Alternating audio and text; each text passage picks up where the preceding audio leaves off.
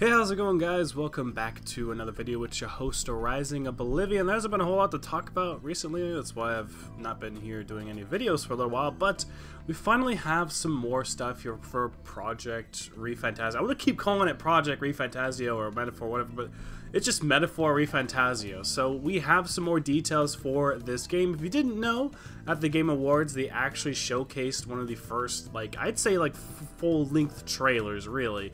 And then Atlus over there uploaded their own behind-the-scenes sort of look at the game with some actual people from the dev team talking about the game and what they expect and what they want to do moving forward with Metaphor ReFantazio. If you didn't know, this is a brand new IP from Atlus, so guys, this is final. Uh, before we jump into this, I just want to say I am happy that finally we get to like talk about new characters and a new scenery and this is a new game from Atlus. Finally, you know, there's not it's not just another remake or a continuation of a series. Don't get me wrong, I like Persona 5 Tactica, but I would love to move on to new characters and new places and stuff. And I think Persona 3 Reload is going to be amazing as well. Don't get me wrong, I'm hyped for all that stuff, but man, it is nice just finally being able to explore something new, talk about new characters, talk about a new place that we have going on here. But I know I'm going to be rambling a little bit. Maybe not everybody feels the exact same way about this. Let me know if you guys feel the same way. I'm just happy that we're finally getting to talk about something brand new, especially from Atlus, and it's another JRPG. Like I said, this is another IP for them. This could be potentially a long-going series similar to what happened Persona, or, you know, some of the other things like Digital Devil Saga. Hopefully they don't bring that back and screw that up or something, but look, we have some cool stuff here. We had a little video from Atlus called The Creator's Voice that goes over some new stuff. I'm going to have that on in the background. That includes new footage and details about the game, the battle system, the magic, the music, stuff like that that's going to be going on in the background. And we actually have some interviews going on within this trailer from the actual director of the game, the character designer, and the composer of the game as well. They're speaking all in Japanese. It's translated a little bit weird, but I think today I'm just going to go over what they talked about here in these interviews and what kind of was going on in terms of their thoughts when it came to this game. So I'm going to have that on in the background, and also I guess I'm going to be kind of translating, but just giving you the meat potatoes here of what's kind of going on for this game and what they're saying about the game. Again, this is directly from the people creating the game, so we're getting some intense details here. So let's go ahead and jump into the world of the game. This is going to be our first little section here, so let's go and talk about the world.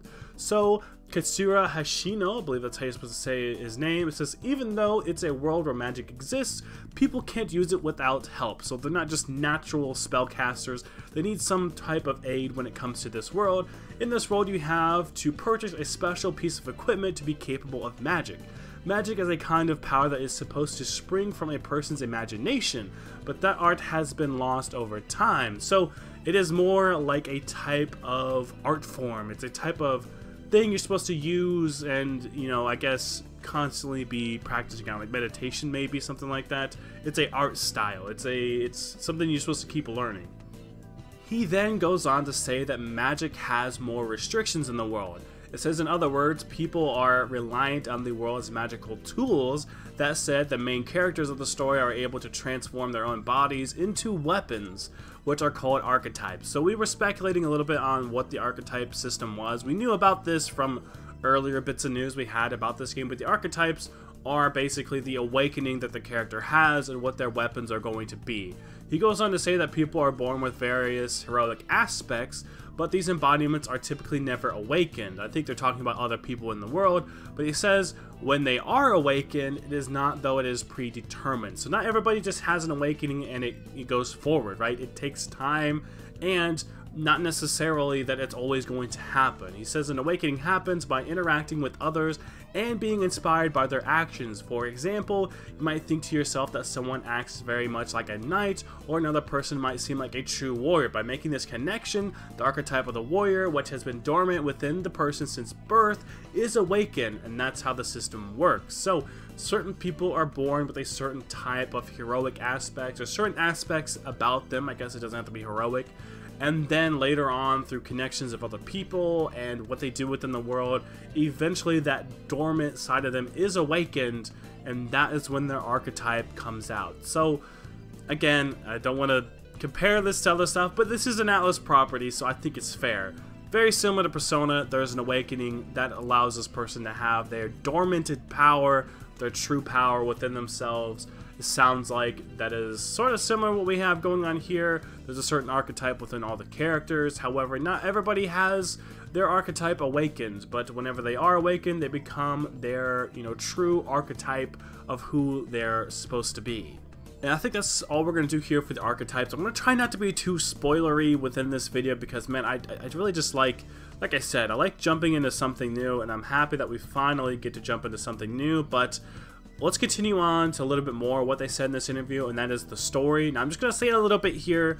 I'm not going to try and spoil you guys, but there's just a little bit that I'm going to read from the actual transcript, the, uh, you know, basically what we have here. I'm just going to talk a little bit about this. So, it says that the starting point of the story is that of any person can become a king if he or she becomes the most popular. After that, many things can happen. Those currently in uh, power fame, the elections as a competition that they can display their own power, hoping to maintain the control they currently have. I mean, that sounds familiar. the protagonist gets involved in this election race, and as the story unfolds, he embarks on a journey to travel around the country to gather support. We're combining this aspect with elements of travel, which is pretty cool, which is a critical element in fantasy. So there's going to be a lot of travel, it seems like, when we're going around doing this election race.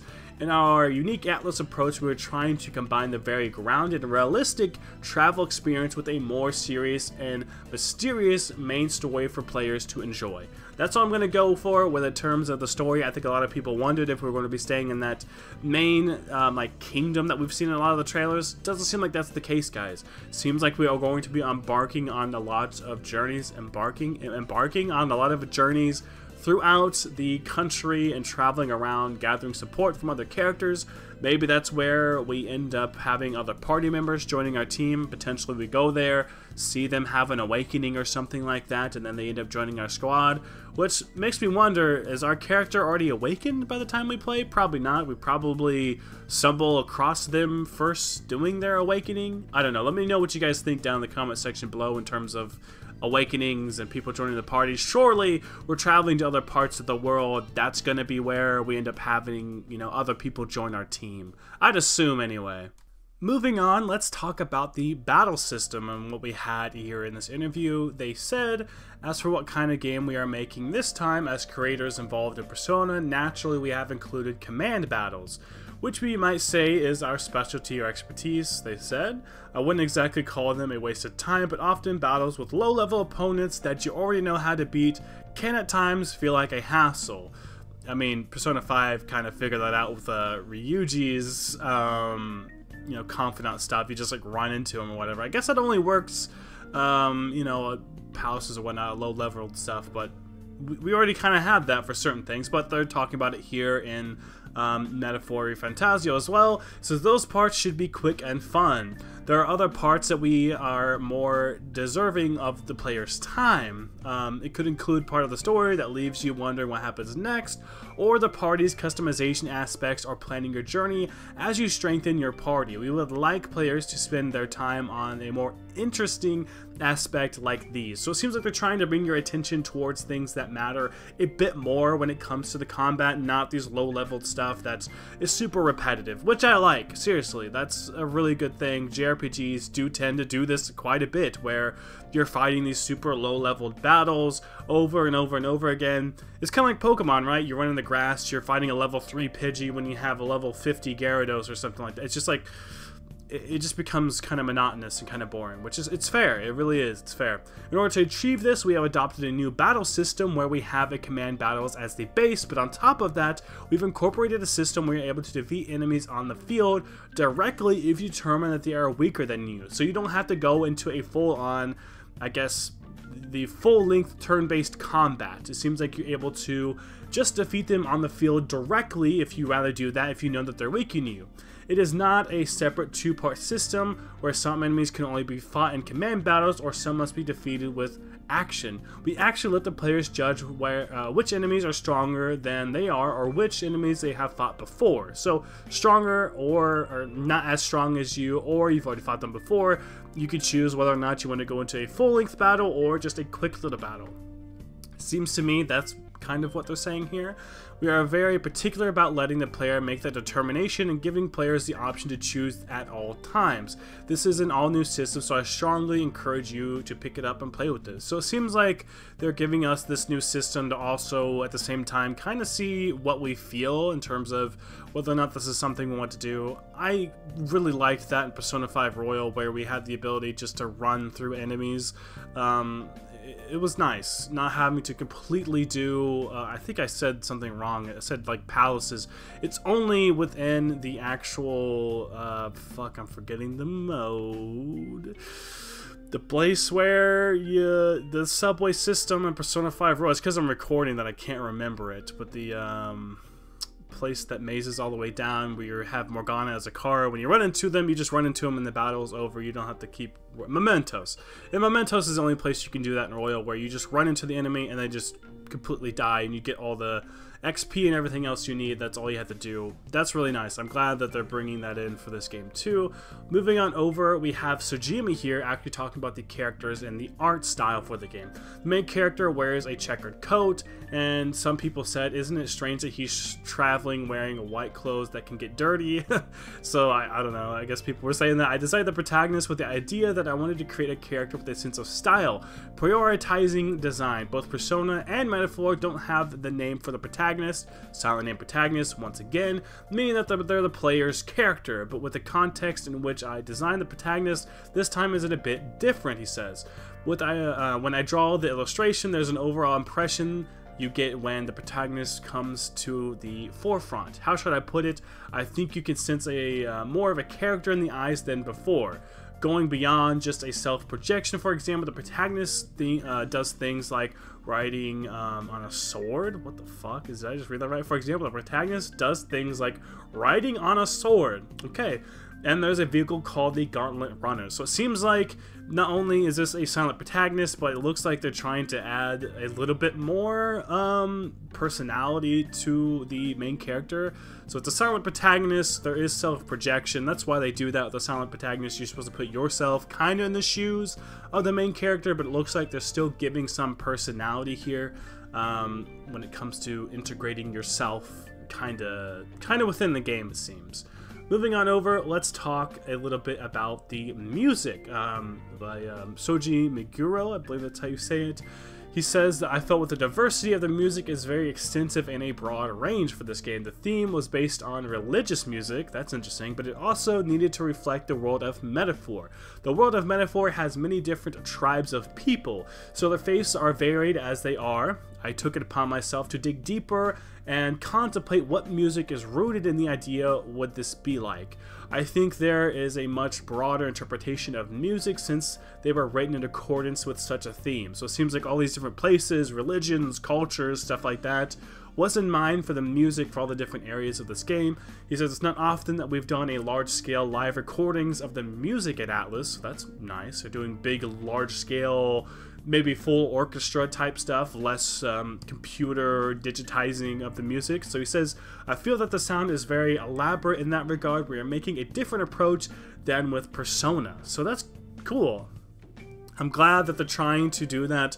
Atlus typically does a pretty good job here, I think, when it comes to music. I'm not really too worried about that. They always typically do like a pretty fantastic job of having a broad range of music, different palaces, different dungeons, different characters. Shin Megami Tensei 5, a lot of people were not super big fans of that game. However, it has a banging soundtrack. A lot of them have really, really good soundtracks. Even if it's a game you don't like, it's like, wow, the soundtrack is still amazing. That's one of the first things I ever heard when it came to Persona just in general. Uh, the music is just amazing. And lastly here, before I sort of wrap up this video, they did talk a little bit about the Atlus 35th anniversary. If you didn't know, 2024, so next year, is actually Atlus's 35th anniversary. They have a brand new logo done for that, and they've also talked about this sort of new thing that they're doing, which is the Atlus branded 35th World Tour Road to Metaphor ReFantazio event that takes place in 2024. So it seems like they're doing this Atlus 35th anniversary thing that's going to lead up to Metaphor ReFantazio's release date. I would assume that's kind of what we have going on here. And then lastly, they sort of talk about yes, Metaphor ReFantazio will be releasing worldwide in fall 2024 for the Xbox Series X and S, Windows PC, PS4, PS5, and Steam. So, of course, we know that's going to be coming out for all of those platforms, and it will be coming out in fall of 2024. So it seems like maybe we're going to be having a lot of these types of celebrations and things with the Atlus 35th anniversary world tour thing leading up to Metaphor ReFantazio's release date there in the fall. It seems like they're going to be maybe talking about other things here.